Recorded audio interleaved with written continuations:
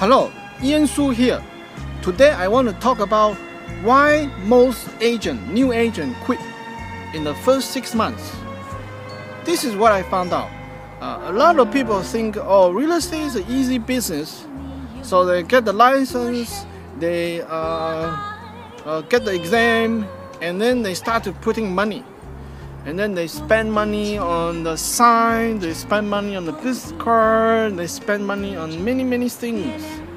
And after six months, they go, oh wow, uh, this thing is actually bad. It's difficult to make money. It's difficult to get this thing. It's difficult to even uh, have a sales. So they putting out too much, and then nothing coming in, and uh, still had to keep up all the expense, rent, and utilities. Then they quit.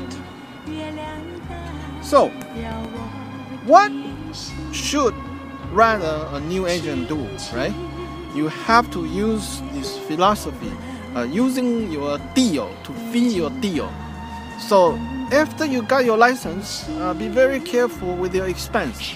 Don't spend any money on anything that's uh, preparing to become an agent. Rather, focus on contacting people.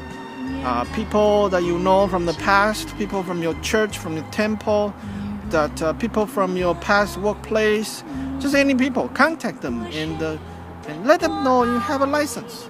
Now, some of you, some of them may not like you because you are brand new, you don't have the experience, you're not gonna get the, their business. But guess what? One or two out of hundred gonna be somebody that that really like you and really want to help you to succeed in this business, and they will give you the deal.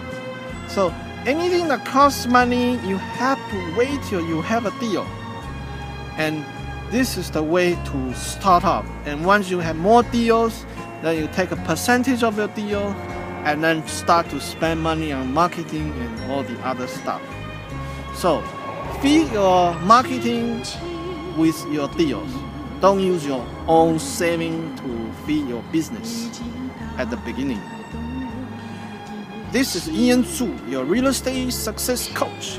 Thank you for watching my video. Thumb up, like the video, and share it with your YouTube account and Facebook account. Have a nice day. Bye for now.